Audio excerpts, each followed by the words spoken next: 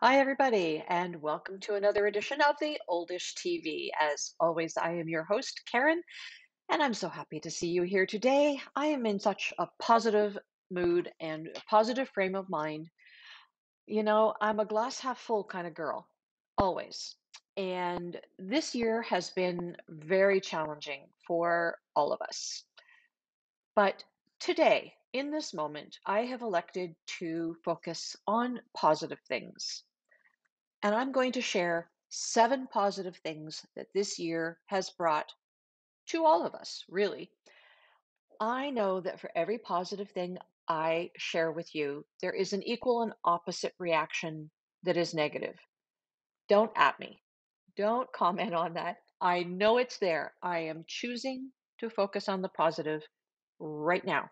And I hope that you will focus on this positive with me as well. It's better for our state of mind and our mental health and our emotional health to see the positives, to purposefully look for the positives. So I have seven things on my list. I'm going to share them with you. Number one, and perhaps the most important thing that has come about as a result of 2020, is the embrace of telehealth services. Now, they've been around for a while. Telehealth services have been around for a long time. We've all been sort of tinkering with them over the years. The doctors and the hospitals have been tinkering with them, some to greater effect than others. There are lots of reasons for us as patients to ask for, even demand, and then embrace telehealth services. Who wants to be in a room full of sick people? Not me. So that's a really good reason to use telehealth. Also, a lot of people in smaller rural communities, which, as you know, is where I live, are older adults. And for them, going to a doctor in a faraway place, and a faraway place is the nearest city for some, it's challenging, it's draining. It takes a full day of preparation, and oftentimes an adult child has to take time off work to take them there. So now you're impacting two lives. And so they go down and they sit in a waiting room at a doctor's office for long times. I mean, let's face it, the wait times aren't getting any shorter. They can sit there for a couple of hours for their 15 minute appointment, and then they have to drive home again. That's just so draining. And with telehealth services, it's not always necessary. I know that sometimes that face to face conversation is necessary, but it's not always. Now, here in Ontario, where I live, part of the problem was that until three or four years ago, our health funder, OHIP, did not pay doctors for telehealth visits. They do now. And doctors then started to embrace it. But, you know, yeah, we've always done it this way. So it was sort of slow to come about. But with the advent of the pandemic, it forced it. Now, you know that I'm on a hospital board. Up until this year, I would say that for probably five years before that, I was always advocating for a dedicated telehealth room at our hospital. We had one, but it shared the space with uh, the boardroom. So that meant if there was a meeting, and there are always meetings, the patients could use the telehealth equipment. So seemed crazy to me. And I started advocating five years ago for a dedicated telehealth room. Well, we now have one. And this year it started to be used better and better. And I'm sure that's the case with a lot of hospitals and doctors' offices around the world. You know, specialists are often at a distance. So telehealth lets us meet with specialists around the world, anywhere, at any time. So, you know, I think that embracing telehealth benefits all of us. That for me is a big positive. Number two, new ways of working. Every business, in my humble opinion, needs to examine how they do business on a regular basis. We get stuck in that, you know, we've always done it this way thing, and it's easier to think of reasons why we shouldn't embrace something new than it is to step outside of our comfort zone and actually embrace something new. But this pandemic year has forced us to find new partnerships and new collaborations. We have been working from home and we have figured out, not entirely and not for everyone, but a lot of companies have figured out how to do it well so that their employees stay safe and keep the business moving forward. They keep connecting with clients and making sure that things happen. That brings about the idea that when all of this has passed, companies are going to start looking at their bottom line. And I think a lot of companies are going to go, hmm, paying all that money for that big, expensive place in the middle of the city? Do we really need to do that? Do we need five floors when we can just have one? Do we need that whole building when we can use something smaller and continue having our employees work from home? A lot of the employees like it too. They don't have to commute, they don't have to have the wardrobe, they don't have the expense of the car and the gas. You know, there are a lot of mutually beneficial reasons to find ways to keep on doing this on a more permanent basis.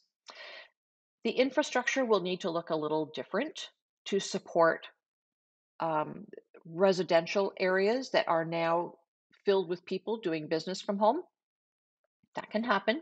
There are also a lot of part time jobs that are springing up that are needed to support people working from home, jobs that weren't even invented a year ago. So that's a good thing. People looking for employment can find employment from the comfort of their own home and not have to go anywhere or do anything that is extraordinarily different. So, you know, new ways of working. That's my number two. Number three, and it still deals with technology the embrace of technology. The older generations have been slower to embrace technologies. And when I say older generations, I'm talking about people who are maybe in their 70s, 80s, 90s, and hundreds. You know, we did our show last week about living well into your 90s and into your hundreds. So I'm going to include them. The oldest old is what they are technically called. But those who have retired recently, more recently, in the last few years, were used to using technology in their business and they've taken those skills into their retirement with them. So for them, it's not such a big deal, but there are still people who did not use so much technology in their business life when they were working. And they've had to embrace it. Um, they have needed to stay in touch with family and friends. Again, that social engagement, ever so important. And they've been using things like FaceTime and Zoom while they've been isolated. And people there I know people who've still not left their houses since March. That is still an ongoing necessity for many older people with comorbidities. So anyway, remaining socially engaged is important for them and that they have been able to use, if not entirely master, but they're not they're not really that difficult. Use Zoom and FaceTime that gives them the confidence and the reassurance to go ahead and embrace other kinds of technologies. Now, we're building houses these days that have lots of technology in them because we can. But where it benefits us is that so many more of us are rethinking how we can stay in our own homes for as long as possible. Using technology is one of the ways that we can do it safely. So there are lots of technologies that will monitor whether or not you fall, that will take your blood pressure, that will actually notice whether or not there is movement through your house. And if there's no movement, it will alert someone. Um, you know, all of these components to living independently so many of them are just in something like a watch. I just got this um, upgrade to my Apple Watch. I had a generation two, and I think this is a generation six now, and it has an accelerometer in it, which means that if I take a hard fall, it asks me if I'm okay. And if I don't respond, it will call the people on my emergency ID list. It monitors my blood pressure, it monitors my heart rate, it can check for um, odd heart rates, arrhythmias, and such. All this stuff, and it's passive. It just it just happens. And I go to the app on my phone and I look at what it what it's gathered and if there's anything concerning, I can call my doctor, and if there's not, I can just be glad that I'm being monitored. It's great. So, all of these things are really important to remaining independent as we move forward in our lives. Number four, reconnecting with family and friends, long lost friends in some cases. You know, with so much time on our hands, we have started, many of us anyway, to search for old classmates, people that we used to work with and thought fondly of. Um, you know, are they on Facebook? What do they look like? Where do they live? Where are they? I was actually searched by a long lost friend just a couple of weeks ago. So, this is a friend uh, from another place that I lived in. We were very close for a number of years, but, you know, children came into our lives and, uh, you know, dealing with them takes time away from doing much else. I moved away from the area, so we sort of lost touch, but we've reconnected, and it's been really so nice to be able to catch up and find out what everybody's doing. Um, what are her kids doing? What are my kids doing? It's been really nice. I've enjoyed that. So, you know, do a bit of that. Number five, home cooking and home baking. Now, that might seem sort of an odd thing, but for those of us who lead busy lives, we can get a little bit caught up in foods that are prepared already, the convenience of it all. But during that first lockdown, things started to happen. You know, people in the early days started to stock up on things, and, and they stocked up on some sort of weird stuff and, you know, toilet paper, but prepared foods and what they should have been stocking up on, and actually what they did start stocking up on, were ingredients so that they could make multiple foods with items that were in their pantry dried beans and cans of tomatoes and you know the kinds of things that you can put together to make a meal instead of pulling a meal out of a freezer and thawing it so that kind of a switch happened um, my grandmother used to say any fool who can read can read a recipe and cook and she's actually right. Um, I've I've always cooked, but you know, when you get busy, you switch to the convenience foods. I find a lot of cooking now um, wholesome ingredients. I know what I'm eating. Um, scratch baking. You know, I told you before, I started baking bread. My daughter gave me a recipe. And um, this friend I reconnected with on Facebook, I have very fond memories of her. One day a week, she would bake bread and she'd bake it on her harvest table and she'd be covered in flour and there'd be enough bread at the end of it all to last her family which was rather large for a week now i can't claim anything like that i have a stand mixer that does most of the work for me but i get a lot of joy out of baking a loaf of bread once a week for myself and i haven't bought bread in months and months and months like a loaf of bread haven't done it so you know that sort of rediscovery of home cooking and home baking has been very satisfying for a lot of us. Item number six is kind of related to cooking. It is gardening. You gardening? Are you? On your balcony or in your yard? Did you start a garden plot this year? I know that a lot of the seed companies were running out of seeds as people sought to grow their own food um, you know, it's not just about flowers anymore. I've watched websites and Facebook pages explode with how to advice about growing your own garden uh, full of food that you like to eat there are a lot of advantages to that. Not only is it cheaper, but you know what you're growing, you know what you're adding to the soil, you know what kind of products you're putting on it to control pests. And, uh, you know, it's just a healthier way to eat. You can harvest your own stuff and have fun with your family that way. There's always the weeding. That's the part my kids never got onto was helping me weed. But I saw on the news yesterday that food prices in 2021 are expected to rise by 5%. So I really feel that next year, this trend toward growing your own uh, food in your backyard or in containers is going to continue. That's good. My number seven is all about wellness. We have embraced wellness. This year has been ever so challenging for everyone um, physically, emotionally, psychologically.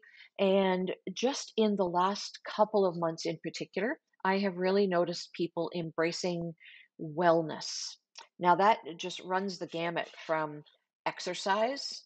People have been sharing exercise videos that they found on YouTube. They've dusted off that treadmill and they've jumped back on it. I use my treadmill in the winter, not so much in the summer. So it is winter now. I am back using it again, but that is more my habit. And I think a lot of people who have treadmills, you know, the old joke about hanging clothes on them, they're embracing them. And I did notice that early on in the pandemic months, things like weights and skipping ropes and exercise bands were very hard to find. They're starting to find their way back into the stores again. So people are buying them. Meditation has become ever so popular. Many have discovered online or telephone resources to deal with mental health, things like anxiety and stress, things that, you know, last year we may not have sought professional help for. We would have sucked it up or gone for a walk or exercised a bit more. But this year, without so many of those facilities available to us, we've had to figure out new ways of doing it. These online resources, the number of people who have caught onto ASMR video recordings on YouTube, crazy. If you haven't heard of ASMR, that's the one where people go to a microphone and they talk in whispers and they pop those airbags and they rattle things and make noises. It's supposed to calm you down. I a lot of them I just find kind of creepy, but for those of you who find them calming, that is great. I will tell you that in Canada and the US, 211 has become ever so popular. You can either dial 211 or you can go to your computer and put in 211. You can find all kinds of resources. Um, you can find mental health resources. You can find out where to get food if you are hungry. You can find out what's open and what's closed near you. It is just a fantastic resource. If you're in a crisis and you are in Canada or the US, you can text home to this number 741 741. In the UK, text 85258. And in Ireland, you text 50808 or you message crisis text line on Facebook. And trained live counselors are at the other end just waiting for you.